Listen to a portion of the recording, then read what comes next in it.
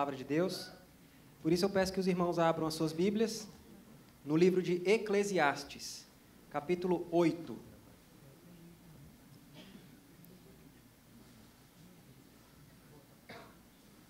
Eclesiastes é fácil de achar.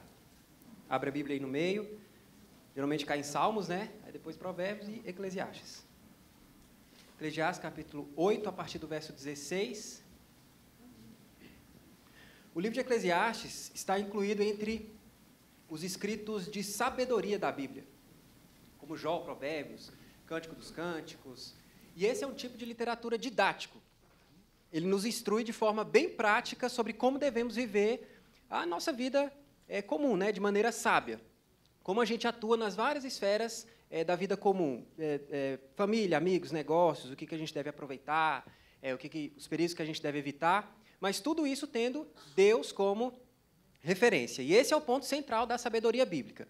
A pessoa sábia vive consciente de que está sempre diante de Deus. Ou na linguagem lá de Provérbios 9, versículo 10, o temor do Senhor é o princípio da sabedoria, exatamente. E Salomão em Eclesiastes, ele nos mostra a realidade sem filtros. A dureza de sermos pessoas quebradas vivendo no mundo quebrado. Um comentarista até comentou que, é, considerando esse período pós-moderno né, que a gente vive, Eclesiastes talvez seja o livro mais contemporâneo. Ele responde perguntas que as pessoas estão fazendo hoje e questiona as, as respostas que as pessoas estão dando. É claro que toda a palavra de Deus é relevante em todas as épocas e exatamente por isso alguns livros dela são bem apropriados para determinado contexto. E esse talvez seja o livro da Bíblia que mais desafie a nossa ideia de espiritualidade. O que, que a gente acha é, que seja vida com Deus. Então pode ser que hoje você escute algumas coisas difíceis, confrontadoras. Mas a palavra de Deus foi projetada para isso mesmo. Ela é espada que corta o nosso coração, ela vai no mais profundo do nosso ser, lança a luz graciosa de Cristo por meio do Espírito Santo e muda a nossa visão de mundo e muda a nossa vida. Então escute com atenção, escute com fé, essa é a palavra de Deus. Diz assim, Eclesiastes capítulo 8, do verso 16 até o capítulo 9, verso 10. Aplicando-me a conhecer a sabedoria e a ver o trabalho que há sobre a terra, pois nem de dia nem de noite vê o homem sono nos seus olhos, então contemplei toda a obra de Deus e vi que o homem não pode compreender a obra que se faz debaixo do sol. Por mais que trabalhe o homem para a descobrir, não a entenderá. E ainda que diga o sábio que a virá a conhecer, nem por isso a poderá achar. Deveras, me apliquei a todas essas coisas para claramente entender tudo isso: que os justos e os sábios e os seus feitos estão nas mãos de Deus. E se é amor ou se é ódio que está à sua espera, não sabe o homem. Tudo lhe está oculto no futuro. Tudo sucede igualmente a todos. O mesmo sucede ao justo e ao perverso, ao bom, ao puro e ao impuro, tanto ao que sacrifica como ao que não sacrifica, ao bom como ao pecador, ao que jura como ao que teme o juramento. Este é o mal que há em tudo quanto se faz debaixo do sol. A todos sucede o mesmo. Também o coração dos homens está cheio de maldade. Nele há desvarios enquanto vivem. Depois, rumo aos mortos. Para aquele que está entre os vivos, há esperança. Porque mais vale um cão vivo do que um leão morto. Porque os vivos sabem que hão de morrer, mas os mortos não sabem coisa nenhuma. Nem tampouco terão eles recompensa, porque a sua memória jaz no esquecimento. Amor, ódio, inveja, para eles já pereceram. Para sempre não têm eles parte em coisa alguma do que se faz debaixo do sol. Vai, pois, come com alegria o teu pão e bebe gostosamente o teu vinho, pois Deus já de antemão se agrada das tuas obras. Em todo tempo sejam alvas as tuas vestes e jamais falte o óleo sobre a tua cabeça. Goza a vida com a mulher que amas, todos os dias de tua vida fugaz, os quais Deus te deu debaixo do sol. Porque esta é a tua porção nesta vida pelo trabalho com que te afadigasses debaixo do sol. Tudo quanto te vier a mão para fazer, faze-o conforme as tuas forças, porque no além para onde tu vais, não há obra, nem projetos, nem conhecimento, nem sabedoria alguma. Vamos orar? Pai Santo, nós te louvamos pela tua graça, a tua bondade, a tua misericórdia. Pai, eu lhe peço que o Senhor seja conosco hoje, que o Senhor abra o nosso entendimento, que a tua palavra é, profunde no nosso coração, Deus, lança a luz do teu Santo Espírito na nossa alma para que possamos compreender o texto e que possamos praticar a tua palavra. Pai, essa aqui é a tua palavra, esse aqui é o teu povo, eu sou teu servo, isso aqui é tudo do Senhor, Deus. Então glorifica o teu nome. É para isso que estamos aqui, Pai. Nós te louvamos em nome de Jesus. Amém. Se você tem TV por assinatura ou Netflix, você já deve ter percebido que existem programas, filmes, séries sobre todo tipo de coisa. Tem aqueles programas doidos de sobrevivência, né, que, uh, onde os participantes são jogados no meio do mato com um canivete, um fio de barbante, e aí eles têm que construir barraca, têm que fazer fogo, procurar comida e tal. E, pelo menos na minha concepção, ganha quem não ficar tão maluco. Tem aqueles programas que só mostram aqueles lugares lindos desse mundão que Deus fez, e a gente fica, nossa, que vontade de viajar e tal, de conhecer esse lugar e etc. Tem programa sobre decoração de casa. Tem até competição sobre decoração de casa, um negócio que eu nem consigo imaginar. E tem inúmeros programas de culinária. Quem faz o melhor bolo, quem faz o melhor churrasco, e como fazer aquelas comidinhas que a gente nem sabe direito o que, que é. Tipo, torta de mirtilo. O que, que é mirtilo, gente? Nem existe esse negócio. Tem um filme sobre tornado de tubarão, sabe como é que é? Tornados se formam nos, no, no Oceano Pacífico sugam os tubarões do Oceano Pacífico, eles vão para o continente saindo, jogando tubarão para tudo quanto é lado e etc., causando destruição. Gente, quem é que pensa nesse negócio? E vão lançar o sexto filme disso, imagina isso, que vai juntar a Arca de Noé, dinossauros e os nazistas. Deve fazer sucesso em alguma cultura do submundo por aí. E nesses dias, enquanto eu estava lá navegando pela Netflix, você sabe, né, quando a gente fica passando as capinhas do filme assim, bem bem rapidinho para ver se acha alguma coisa que interessa, né? igual que a gente passa é, os canais da televisão, né? Sabe, é, sabe, né? Eu sei, tem só os sorrisinhos de identificação. Sabia que vocês não iam me deixar sozinho nessa. Então, enquanto eu estava lá navegando, eu achei um programa que me chamou a atenção, chamado Mil Maneiras de Morrer. O programa ele recria supostas histórias de pessoas que encontraram a morte de maneiras absolutamente incomuns ou em situações bem esquisitas. Algumas acidentalmente, outras por tolice da pessoa mesmo. E eles simulam a, a, a situação, eles dramatizam o negócio, a narração é feita para ficar bem bizarra e tirar é, algumas gargalhadas do público, o chamado humor negro. Então, depois que eles mostram lá a situação, vem um especialista, um cirurgião, um pneumatologista, sei lá, para explicar o que, que aconteceu para a pessoa ter morrido.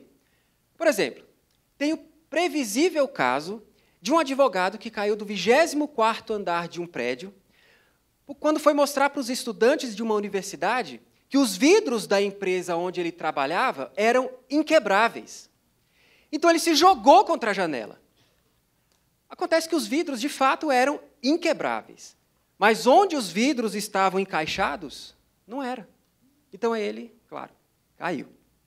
Tem um curioso caso de um ladrão de abóboras, aquelas abóboras grandonas, assim, laranja, que foi morto acidentalmente por um tiro de canhão de abóboras. O dono da fazenda construiu um canhãozão que atira abóbora, sei lá porque, coisa de americano, e estava se divertindo com os amigos quando o desavisado ladrão entrou na fazenda e levou uma abóbora.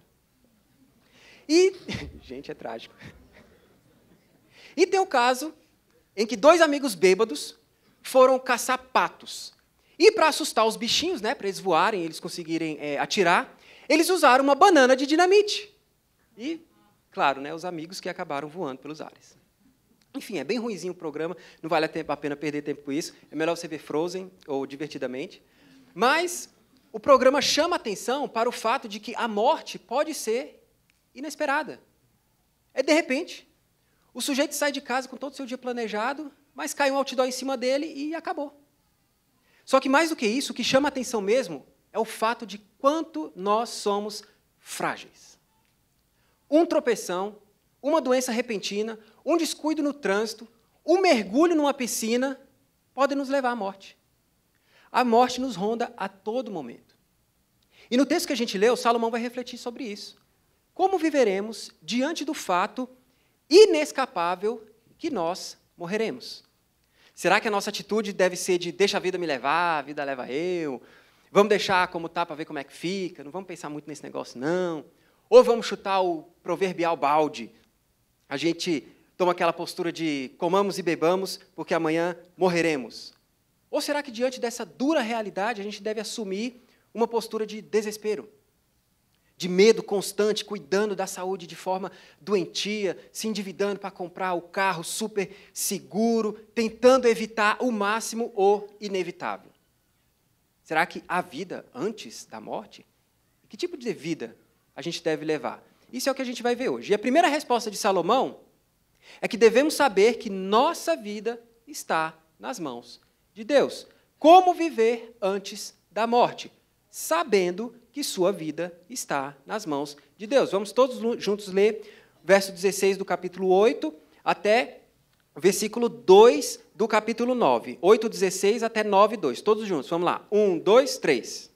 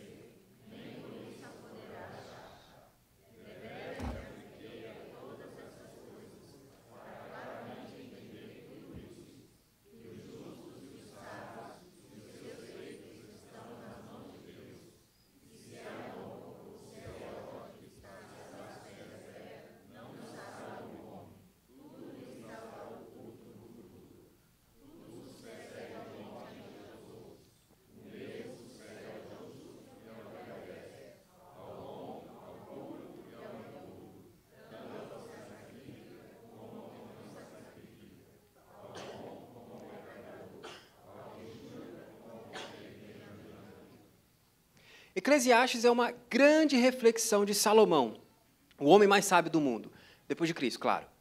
É uma reflexão sobre a vida, o universo e tudo mais, mas tudo isso acontecendo debaixo do sol. Essa é uma expressão importantíssima para a gente entender esse livro. Só no texto que a gente leu, essa, essa expressão aparece no verso 17 do capítulo 8, no verso 3 do capítulo 9, verso 6 e verso 9.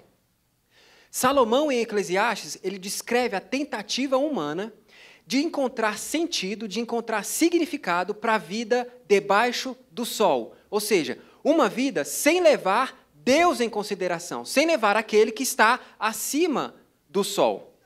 E no início do livro, Salomão diz que ele decidiu investigar e explorar tudo o que acontece debaixo do sol, para ver se ele encontra algum proveito, algo que traga satisfação ao seu coração.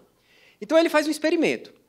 Ele busca contentamento na bebida, no vinho, em posses, em grandes empreendimentos, no sexo, em mulheres, no acúmulo de conhecimento, no trabalho.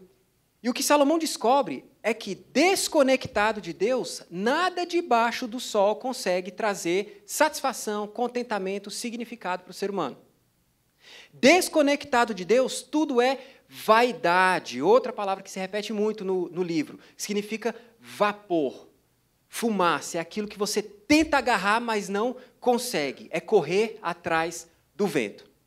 Se colocamos o nosso coração, a nossa esperança, a nossa identidade nessas coisas debaixo do sol, Salomão diz: isso é correr atrás do tempo. Não traz satisfação para o ser humano. Essas coisas são transitórias. Além disso, na sua investigação do mundo, Salomão percebe também que a vida, as circunstâncias da vida debaixo do sol, parece que não fazem sentido. Um sujeito trabalha, se desgasta a vida toda para conseguir riquezas, mas ele morre e outra pessoa é que vai aproveitar os frutos. Ele vê pessoas sofrendo violência e opressão sem ter ninguém que ajude os oprimidos. Ele vê que no lugar da justiça reina a maldade. Ele vê que pessoas que creem e obedecem a Deus morrem cedo, enquanto pessoas perversas prolongam seus dias nessa terra. Ele vê que pessoas sem capacidade nenhuma de liderar são colocadas em posição de autoridade, enquanto os sábios são desprezados. Ele vê que não é dos ligeiros o prêmio, nem dos valentes a vitória, nem dos sábios o pão, nem dos prudentes a riqueza, nem dos inteligentes o favor. Que vida complicada é essa que acontece debaixo do sol? Quando a gente despreza o único que pode nos dar direção nessa vida, quando desprezamos a Deus, a vida parece que não faz sentido mesmo. É uma série de eventos aleatórios que você tenta controlar, situações malucas em que você luta para sobreviver. E por mais que Salomão se aplique a entender essas coisas, que foi o que ele falou no verso 16 do capítulo 8, por mais que ele tente ligar os pontos, arrumar o quebra-cabeça, ele não consegue. É o que ele falou no verso 17 do capítulo 8. Quando a gente acha que entendeu a vida, como as coisas funcionam, está tudo indo bem, está tudo nos trilhos, está tudo sob controle, acontece alguma coisa surpreendente que bagunça tudo, vira a nossa vida de cabeça para baixo. E aí a gente percebe que o nosso esqueminha fechadinho que a gente criou para tentar entender a vida simplesmente não funciona. Diante dessa confusão que é a vida debaixo do sol e da frustração de não poder entendê-la, Salomão chega à primeira conclusão: a gente não consegue entender. E a gente não tem controle sobre essas coisas mesmo, não. A verdade é que nossas vidas estão debaixo do cuidado, do poder, da supervisão e do controle de Deus. Nossas vidas estão nas mãos de Deus, é o que ele fala no verso 1 do capítulo 9. Você precisa parar de crer na ilusão de que você tem o controle sobre a sua vida. Se apegar a isso é vaidade, é como tentar agarrar o vapor, é correr atrás do vento. Isso só leva você à ansiedade e frustração. Pensa acerca disso. Você planeja o seu dia todinho, como é que vai ser sua rotina, sua agenda. Você já se imagina voltando feliz e contente para casa no fim do dia. Mas aí a sua filha acorda de mau humor, chorando, não quer comer. O filho adolescente demora para se arrumar porque um pé do tênis inexplicavelmente sumiu. O gás acaba e aí você vai ter que tomar café requentado no micro-ondas. E nessa confusão toda você se esquece de olhar como é que está o trânsito no Waze, e assim que entra na IPTG, encontra um poderoso engarrafamento, porque um carro bateu no motociclista que também começou o dia mal. Nós fazemos planos e, claro, não tem nada de errado nisso.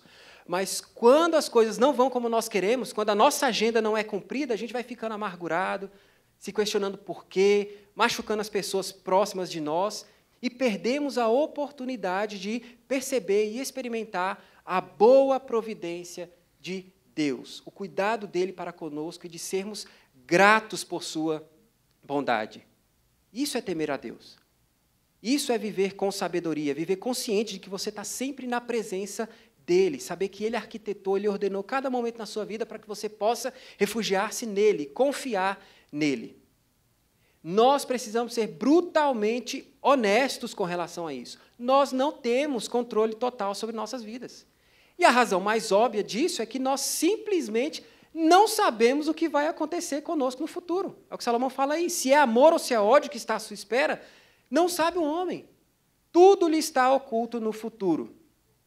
Olha a dura realidade que Salomão descreve aqui. A gente não sabe se na providência de Deus, amanhã, ou mesmo depois da gente sair daqui, nós não sabemos se receberemos de Deus seu amor ou seu ódio, seu favor ou desfavor, seu carinho ou sua disciplina, sua misericórdia ou seu juízo. Veja que isso não é uma descrição de que Deus não sabe é, o que fazer conosco, ou que ele age de forma arbitrária, sem sentido. Não, ele sabe muito bem o que está fazendo. O que Salomão está dizendo é que nós não sabemos o que Deus planejou para a gente. Isso está oculto para a gente. A gente tem aquela ideia de que se algo de ruim acontecer, é porque Deus está contra nós. Se algo de bom acontecer, é porque Deus está a favor de nós. A gente pensa assim, fala sério. Às vezes acontece um negócio ruim no seu dia e você pensa, nossa, o que, que eu fiz? Ah, não, não, será que foi aquele negócio da semana passada? Eu falei mal com meu marido. A gente pensa assim. Só que quando Salomão olha para a vida dele, para a vida dos outros, ele percebe que todos passam pelas mesmas experiências. E fica impossível saber se Deus é favorável ou contrário a nós. Ele fala no verso 2. Quando a gente olha para as circunstâncias da nossa vida e da vida dos outros, é impossível responder se Deus é favorável ou contrário a nós, porque todos nós passamos pelas mesmas coisas. Crentes e descrentes, quem teme a Deus e quem não crê em Deus, todos passam por alegrias e passam por sofrimentos. Todos têm momentos de deleite, de assombro, de melancolia.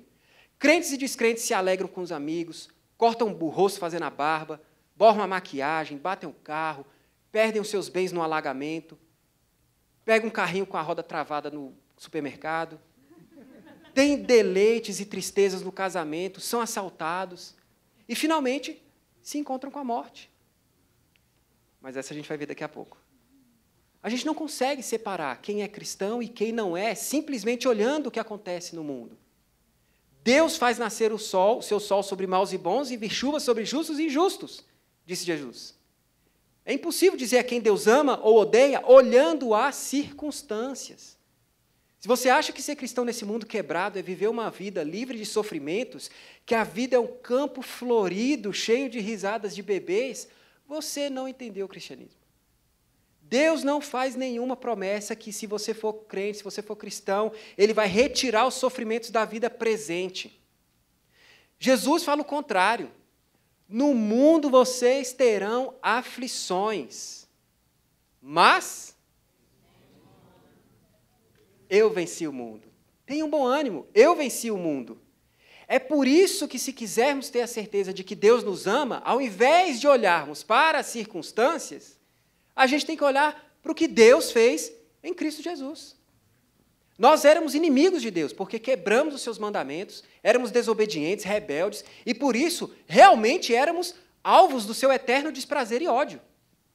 Mas nós fomos reconciliados com Deus por meio do seu Filho Jesus Cristo. Porque o Senhor Jesus fez no nosso lugar o que nós não conseguimos. Ele cumpriu a lei de Deus perfeitamente no nosso lugar. E ele recebeu a ira de Deus sobre si, no nosso lugar, morrendo na cruz do Calvário. E Deus confirmou, garantiu a nossa reconciliação com Ele, ressuscitando Jesus dos mortos. Você não tem que olhar para as circunstâncias da sua vida para saber se Deus te ama ou não. Deus prova, Deus demonstra o seu próprio amor para conosco pelo fato de Cristo ter morrido por nós, sendo nós ainda pecadores, rebeldes, inimigos. Você tem que olhar para Jesus. Assim a gente começa a experimentar o que Paulo diz lá em Romanos: todas as coisas cooperam para o bem daqueles que amam a Deus. Todas as coisas. Seja tribulação, angústia, perseguição, fome, nudez, perigo ou espada. E nem a morte, nem a vida, nem os anjos, nem os principados, nem as coisas do presente, nem do porvir, nem os poderes, nem altura, nem profundidade, nem qualquer outra criatura poderá separar-nos do amor de Deus que está em Cristo Jesus, nosso Senhor. Sua vida está nas mãos de Deus. Como viver antes da morte? Sabendo que sua vida está nas mãos de Deus. Mas, em segundo lugar, como viver antes da morte? Sabendo que você vai morrer. Capítulo 9, verso 3 até o verso 6. Todos juntos, vamos lá. Verso 3 até o verso 6. 1, 2, 3.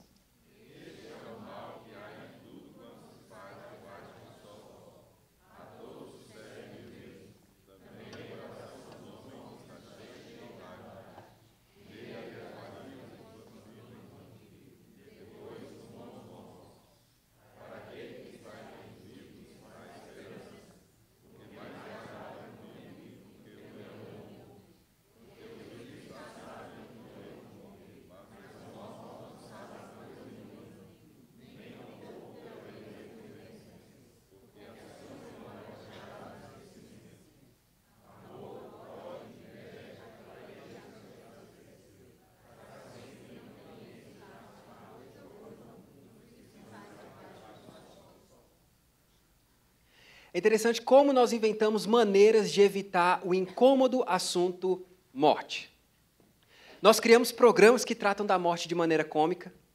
Os nossos produtos culturais, seja filmes, seriados, livros, videogames, não são voltados para a gente refletir sobre a fugacidade da vida ou de como a morte faz parte da experiência humana. E a gente nem consome essas coisas para isso mesmo. Eles são voltados para o entretenimento.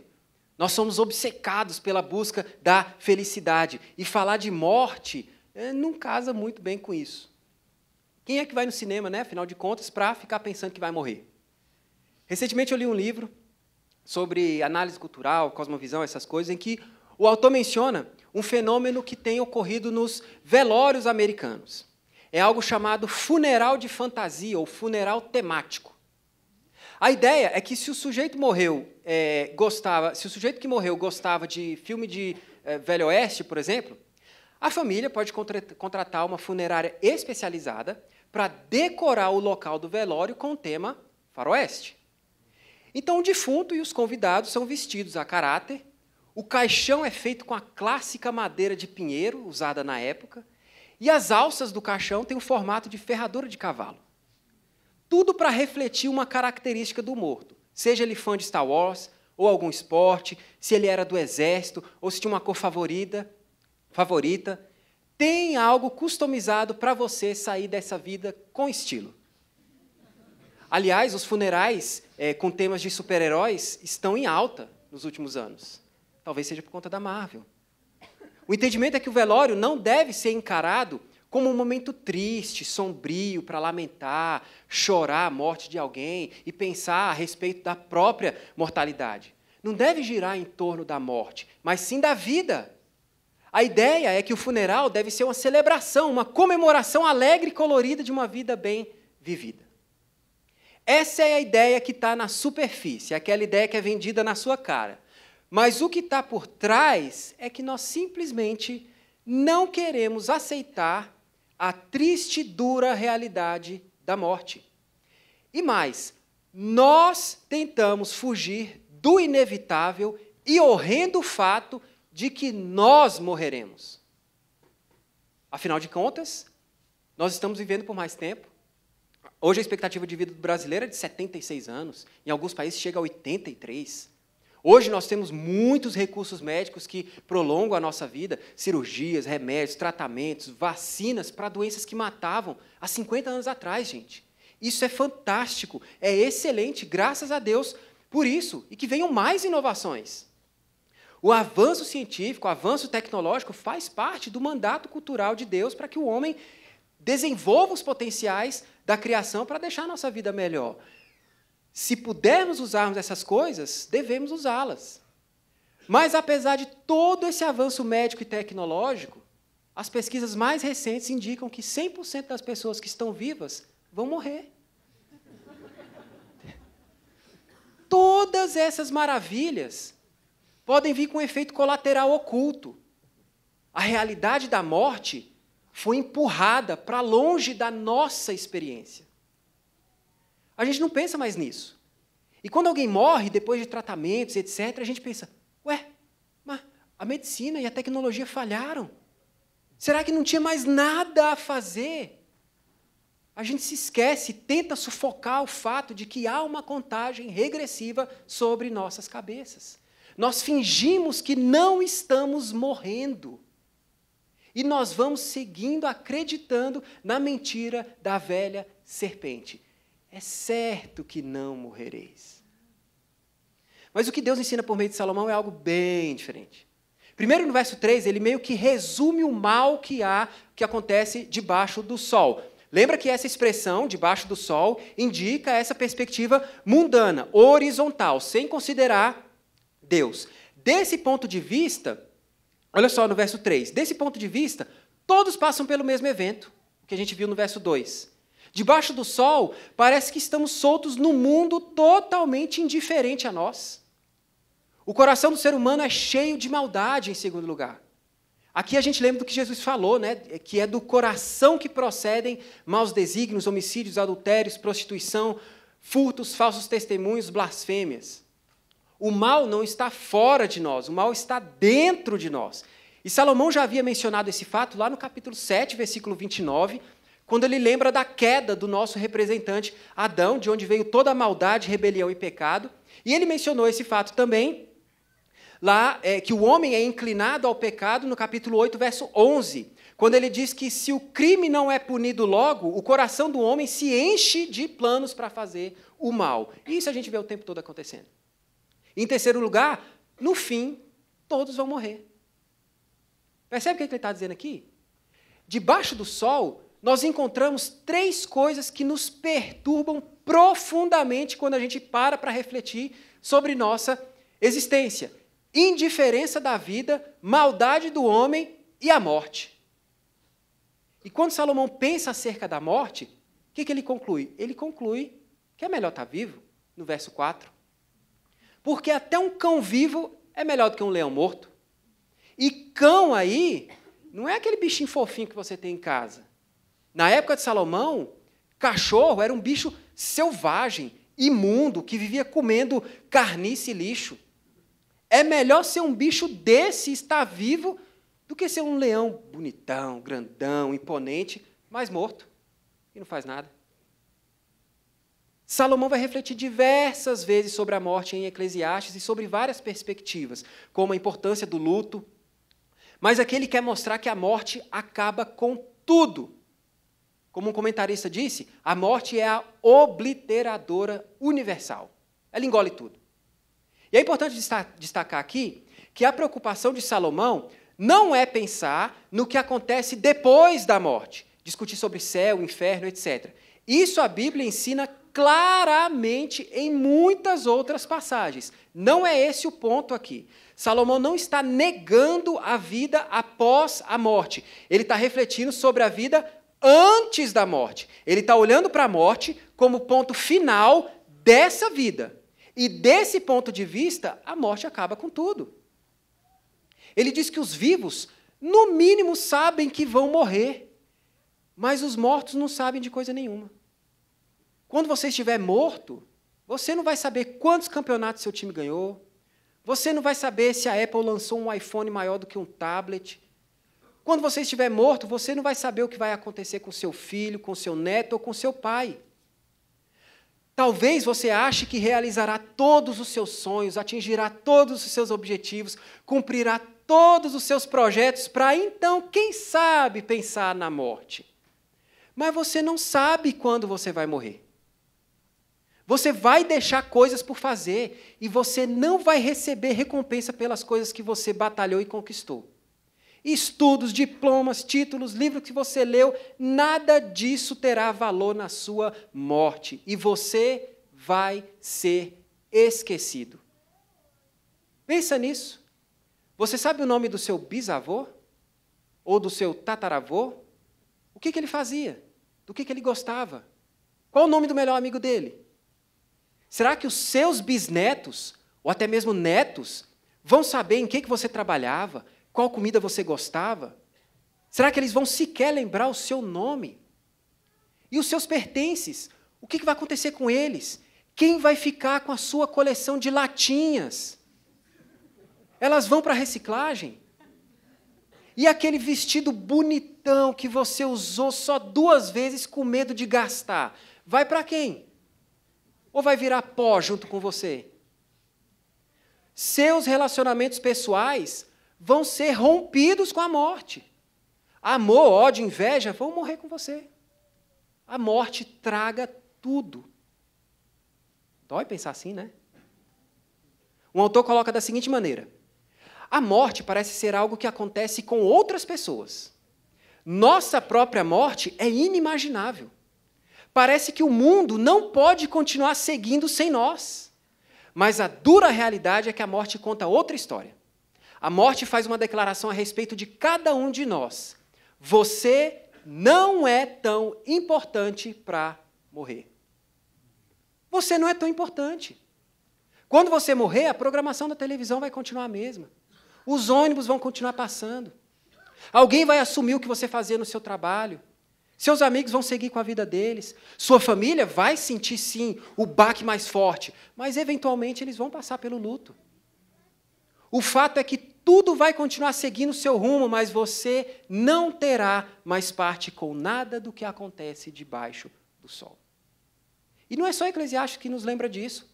Tiago, capítulo 4, verso 14, diz que nós não sabemos o que vai acontecer amanhã. O que é a nossa vida? Nós somos apenas neblina que aparece por um instante e logo se dissipa. O Salmo 144 diz que o homem é como um sopro, os seus dias como a sombra que passa. Moisés, no Salmo 90, diz que os anos da nossa vida chegam a 70 ou a 80 para os que têm mais vigor. Entretanto, são anos difíceis e cheios de sofrimento, pois a vida passa depressa e nós uh, voamos. E se formos como nosso Senhor Jesus, a gente vai viver bem menos do que 70, 80 anos.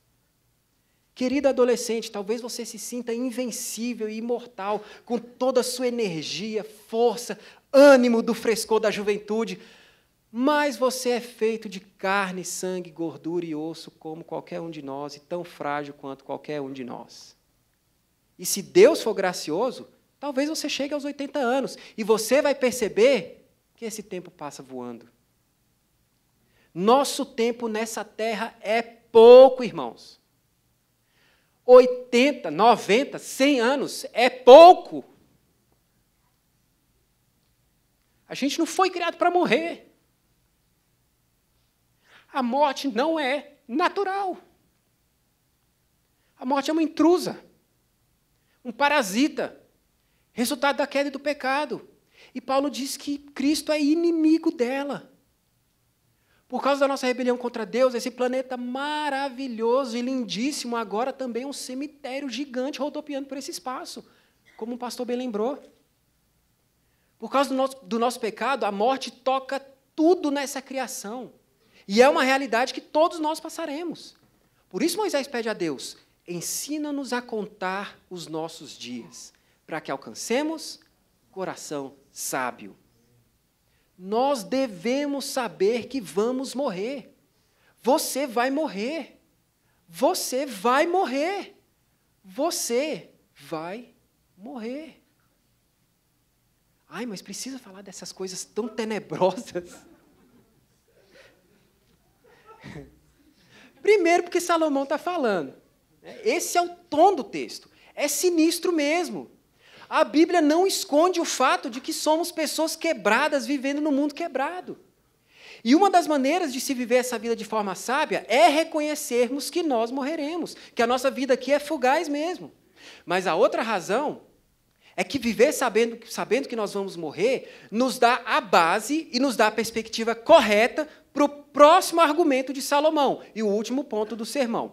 Como viveremos diante da morte? Sabendo que sua vida está nas mãos de Deus, sabendo que você vai morrer. E a próxima resposta pode ser surpreendente e até escandalosa para alguns. Como viver diante da morte? Sabendo aproveitar a vida que Deus te deu. Vamos lá? Força, crente, vamos ler todo mundo junto. Jesus venceu a morte, vamos lá. Versículo 7 a 10, vamos lá. 1, 2, 3.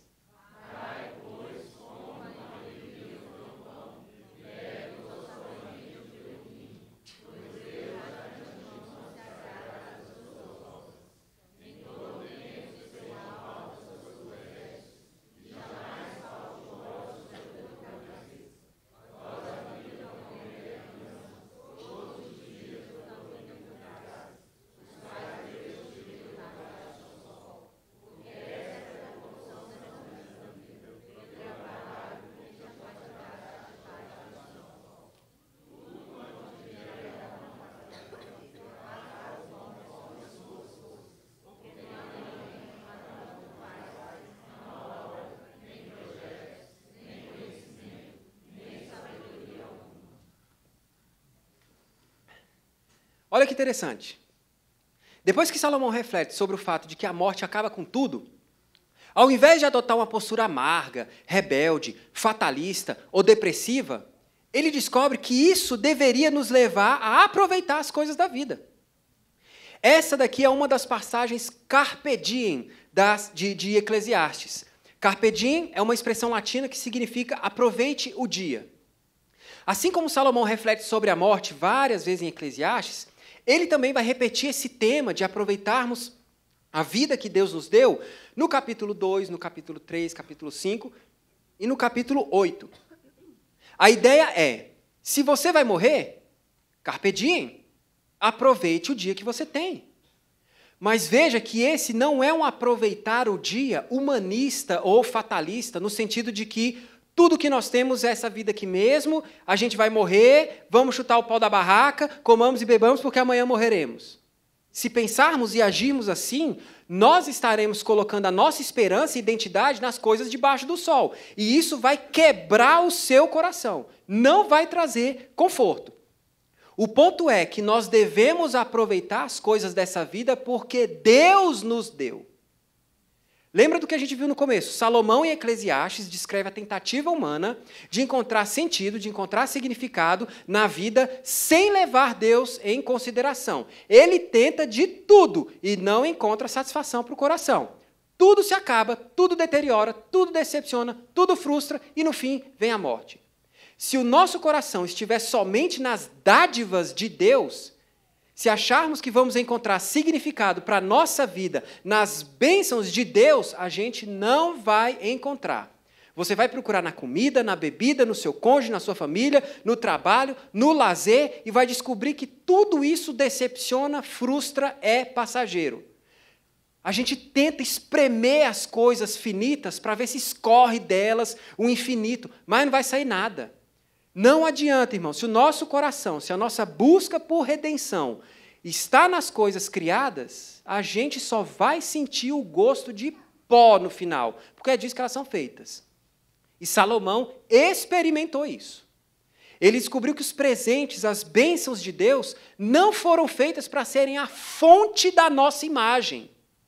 Somente Deus é a fonte da nossa imagem. Nós fomos criados à imagem e semelhança dele. O ponto é: se o nosso coração está em Deus, se nós sabemos que vamos morrer e que as coisas desse mundo são transitórias, nós saberemos desfrutar delas da maneira correta. A gente não vai colocar o nosso coração nelas. Os presentes de Deus e o desfrute delas têm o seu lugar na vida cristã. E nós cristãos temos uma séria dificuldade em encontrarmos prazer e deleite na criação de Deus, exatamente por esse receio de idolatrarmos alguma coisa, de que nossa alegria não esteja em Deus, de nos afastarmos dele. Porque a gente sabe que o nosso coração é corrupto mesmo. Nós ainda estamos sendo santificados, ainda estamos na nossa caminhada cristã. O pecado que habita em nós nos engana.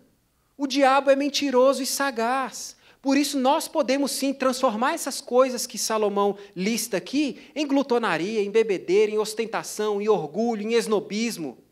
Por isso, esse zelo e cuidado são legítimos. Nós devemos, pela palavra e confiados no Espírito Santo, sondar nossos corações, sim, e estarmos atentos com isso mesmo. Mas a gente pode facilmente cair no extremo de simplesmente não aproveitar nada dessa vida, se achar super espiritual porque vive o tempo todo vestido com pano de sacos e cinza, chamando de pecado que Deus não chama, desprezando o que Deus criou e disse que é bom. E quando você despreza as dádivas, escreveu João Calvino, você insulta o doador. Paulo diz em Colossenses 2 que se submeter a essas regrinhas de não manuseis isso, não prove daquilo, não toque daquilo outro, segundo doutrina de homens, tem aparência de sabedoria, culto de si mesmo, falsa humildade e não valem nada para a luta contra o pecado. A gente inventa essas regrinhas numa tentativa de sermos mais espirituais do que Deus, mas a gente não consegue viver debaixo delas. Jesus, é, lá em Mateus 11, diz que João Batista não comia pão, nem bebia vinho, ele vivia de gafanhotos e mel, mas os religiosos diziam: oh, tem demônio, tem demônio, se vive assim, tem demônio. Quando chega o Filho do Homem, Jesus Cristo, Filho de Deus, comendo e bebendo, os mesmos religiosos dizem: Olha aí o glutão, olha aí o bebedor de vinho, amigo de publicanos, pecadores. Regrinha humana não satisfaz ninguém, não. Em 1 Timóteo 4, Paulo, Paulo fala que tem pessoas que ensinam doutrinas de demônios, que proíbem o casamento, exigem abstinência de alimentos, presta atenção, que Deus criou para serem recebidos com ações de graças pelos fiéis e por quantos conhecem plenamente a verdade. Os cristãos são as pessoas que mais têm legitimidade de aproveitar as coisas que Deus criou, porque nós sabemos que essas coisas vêm dele. Cada momento na nossa vida é um presente de Deus. E nós recebemos esses momentos agradecidos, sabendo o devido lugar delas. De maneira que, quer comendo, quer bebendo ou fazendo qualquer outra coisa, fazemos tudo para a glória de Deus. 1 Coríntios 13, 10, 10 31. Tá bom, dito isso, Salomão fala: Vai, pois, e esse vai aí é enfático, é imperativo, é uma ordem. A gente deve comer com alegria nosso pão e beber gostosamente nosso vinho. Comer e beber é bom demais. E crente tem fama, né? Que, que come muito. O pastor falou, né? Que quando Josué, Josué nasceu, ele foi lá em casa nos visitar e eu e a Michelle a gente já pensou: e aí, o que a gente vai fazer para ele comer? Vai ser pão de queijo? A gente vai comprar um bolo? Um frango caipira com giló? Que, que a gente vai fazer? Aí ele mandou uma mensagem para a gente. Olha, não se preocupa com a comida, não, porque eu estou fazendo uma dieta. Né? Ele sabe que a gente come. Já pensou? Já pensou, pastor Fábio? Se eu comer, comer assim, toda casa que o senhor visitasse, yes. chega ao 100 rapidinho. Parece que tudo que a gente faz tem comida envolvida. Aleluia! É para ser assim mesmo. Eu ia fazer uma listinha aqui com várias comidas e várias é, bebidas para a gente contemplar a variedade de coisas que Deus criou, mas vocês iam ficar com fome e aí eu ia perder vocês, não ia acompanhar o resto da mensagem. Ai, mas será que eu devo mesmo aproveitar, né, me alegrar, aproveitar essas coisas tão comuns, tão ordinárias como comida e bebida? Olha aí o que está no texto. Deus já de antemão se agrada das tuas obras. Deus já aprovou, irmão. Deus já deu o ok para você aproveitar, porque foi Ele quem deu. Amém. Tem um livro fantástico que você precisa ler esse ano. Senão você só vai aumentar o seu pecado. O livro se chama As Coisas da Terra, de Joy Rigney. E nesse livro ele nos mostra que desfrutar da criação de Deus, aproveitar as coisas da terra, por isso que é o nome do, do, do livro, trazem mais glória para Deus. E ele escreve o seguinte: presta atenção, irmãos. Deus fez o steak de frango frito, salada César, purê de batata, lagosta servida, pãezinhos, morangos orgânicos, Big Macs, manjericão fresco e bolinho Ana Maria para serem recebidos com gratidão por quem abraça a verdade.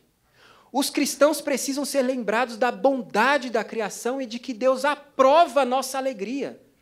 Caso contrário, cremos na mentira do diabo e sucumbimos à culpa a cada vez que deparamos com as coisas da terra. É claro, né, irmãos, que isso não é para você adotar uma postura de vida louca, como a gente já falou, né? Não é desprezando questões de saúde, por exemplo.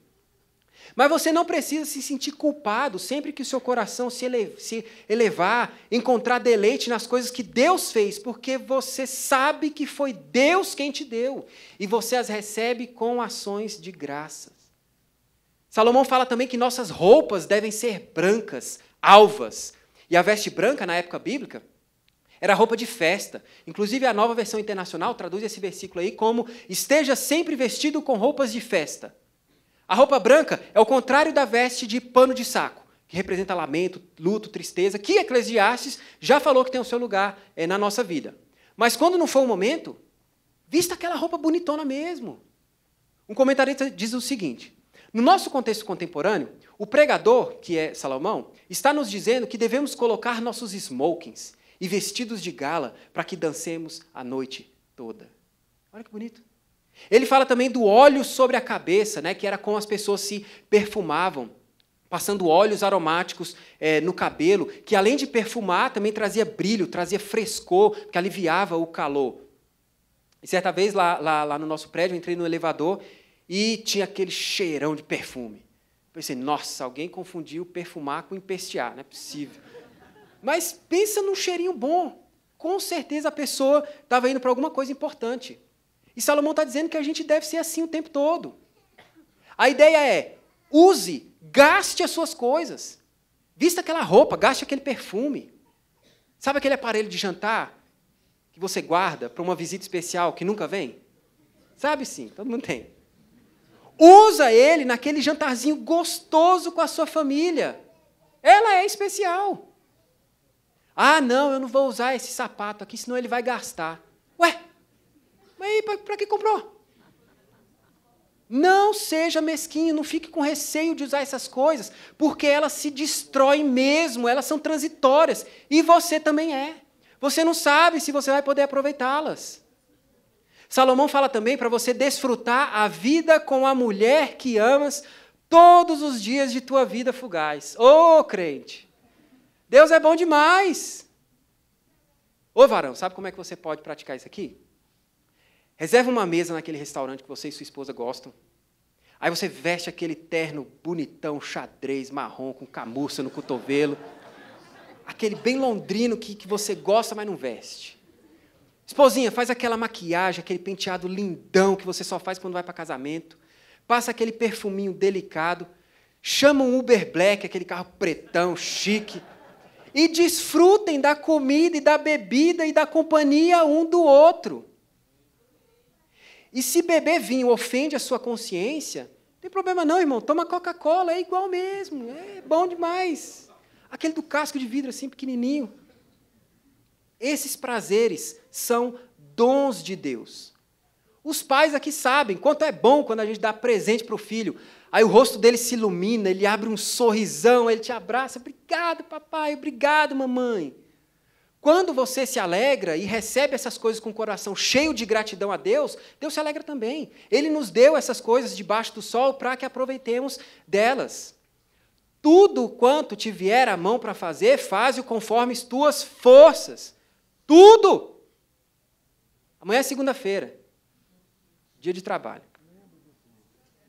Ao invés de ficar reclamando, Receba essa dádiva de Deus, trabalhe com suas forças. Chegue em casa cansado mesmo. Tem gente que gosta de ir para academia, caminhar, dar a volta nesse Guaraí, correr, fazer aquela coisa, aquelas coisas malucas do, do, do crossfit. Sentir aquele geladinho da camisa suada, batendo no peito, aquela coisa nojentona, grudando assim. Faça isso mesmo. Deus te deu esse corpo para que você gaste ele. Faça projetos e tente cumpri-los. Dedique-se nos estudos. Termine aquele TCC. Conquiste o mestrado. Leia livros. Tire aquela sonequinha assistindo filme. Vai nesses bombas que tem no, no Guará aí. Come aquele sandubão cheio de maionese. Lave aquela pilha de louça. Cada momento desse, irmãos, que Deus nos dá, são oportunidades para desfrutarmos das dádivas dele com o nosso coração dilatado, cheio de gratidão, porque na morte você não vai fazer nada disso. Tem um livro também que você precisa ler, que se chama Morrer de Tanto Viver. No mês passado, em julho, se não me engano, foi o lançamento aqui na nossa igreja. Morrer de Tanto Viver, de Nathan Wilson, da editora Monergismo. Ele é tipo uma continuação de um outro livro dele chamado Notas da Xícara Maluca, que você precisa ler também.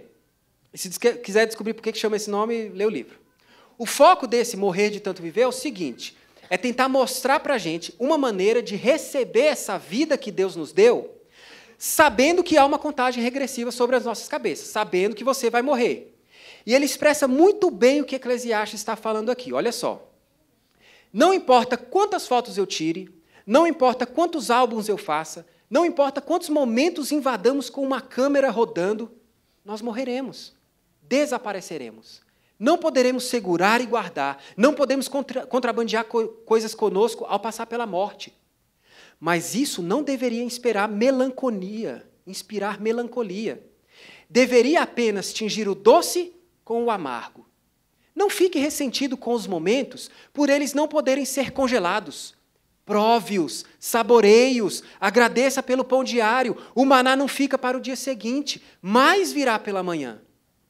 Beba seu vinho, chore de rir, acumule os momentos com gratidão, esteja tão vazio quando, quanto puder quando o relógio parar. Gaste sua vida, e se o tempo é um rio, que você deixe um rastro.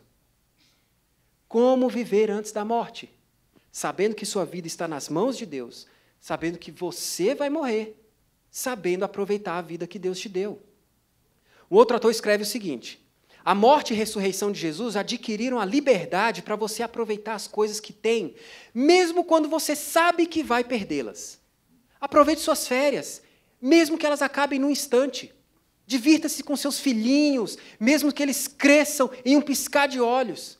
Aproveite suas amizades, aproveite seu casamento, aproveite sua produtividade no trabalho, aproveite a saúde que você ainda tem em seu corpo. Claro que essas coisas não duram. Sim, vai doer quando eles foram embora. Mas eles não precisam durar para serem maravilhosos. Eles são, presta atenção, eles são aperitivos deliciosos dados por Deus e que glorificam a Deus. Aperitivos de uma refeição deliciosa e que nos satisfará e que ainda está por vir. Elas são verdadeiras e dignas prévias do banquete para todos os povos, e Jesus guarda o melhor vinho para o final. Olha que lindo. É claro que a gente sabe que a morte não é o fim. Esses prazeres e alegrias que Deus nos dá nessa vida antes da morte são aperitivos do que Ele preparou para a gente depois da morte. Porque quando o Senhor Jesus voltar, Ele fará novos céus e nova terra, e o tempo de aflição não vai mais existir. O último dia desse mundo caído e quebrado vai ser o último dia da morte. Aquela que tragava tudo e todos vai ser tragada no final. Não vai ter mais luto, não vai ter mais pranto, não vai ter mais dor. Ele vai ressuscitar nossos corpos da sepultura. Ele vai nos dar vestes brancas, roupa de festa, porque nós, a igreja dele, somos a sua noiva e nós vamos participar do banquete de casamento.